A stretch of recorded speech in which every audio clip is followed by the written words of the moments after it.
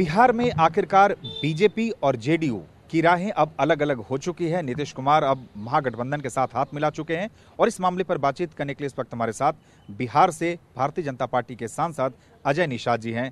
अजय जी, क्या इस बात की उम्मीद थी कि नीतीश जी इस तरीके से झटका दे जाएँगे? नहीं, ऐसी तो उम्मीद नहीं थी और कोई कारण भी नहीं था। भारतीय जनता पार्टी माननीय मुख्यमंत्री का हमेशा सम्मान करती रही है।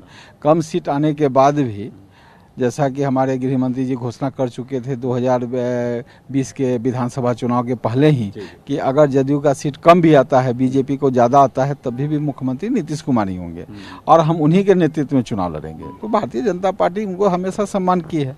अब क्या कारण हुआ जो यू टर्न दोबारा यू टर्न लेके भारतीय एनडीए को तोड़ के चले गए हैं?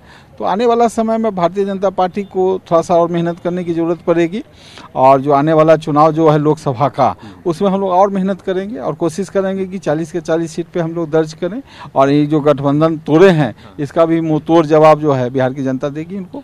अजय जी, मैं एक सवाल आपसे ज़रूर जानना चाहूँगा। ये बात आपने बिल्कुल सही कहा कि 20 के विधानसभा चुनाव में कम सीटें जेडी को जेडीयू को आई, फिर भी आपने नीतीश कुमार को मुख्यमंत्री के रूप में स्वीकार किया।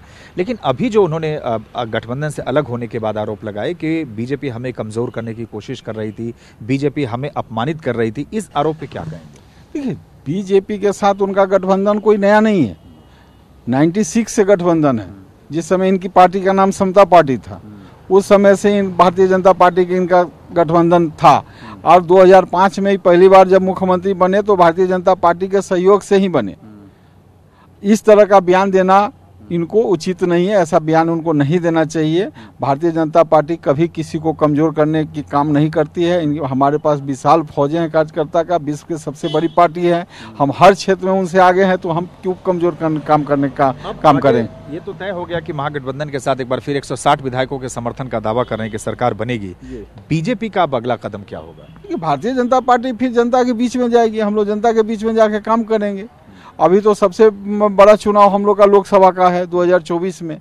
पहले हम लोग उस पर विजय प- प- पाथी परचम लड़ाएँगे विजय का। माननीय प्रधानमंत्री जी को फिर ती, तीसरी बार सत्ता में बैठाएँगे फिर विधानसभा में दो दो हाथ कर लेंगे कहीं कोई दिक्कत नहीं। सवाल क्या ये सच है कि ये माना जा रहा था कि उन्हें उम्मीद थी कि एनडीए की तरफ़ से वाइस प्रेसिडेंट का कैंडिडेट उन्हें बनाया जा सकता है उपराष्ट्रपति पद का उम्मीदवार इसके लिए पहले पहले उन्होंने इंतज़ार किया।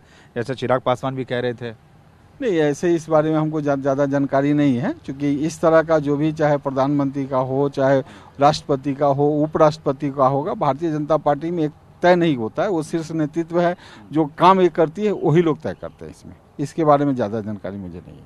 चलिए तो ये थे बीजेपी सांसद अजय निषाद और इनका साफ़ तौर से कहना है कि अब इससे आगे की जो रणनीति है, उस पर काम करना है और 2024 का लोकसभा चुनाव नज़दीक है और अब पार्टी पूरी ताकत के साथ उस चुनाव में जीतेगी।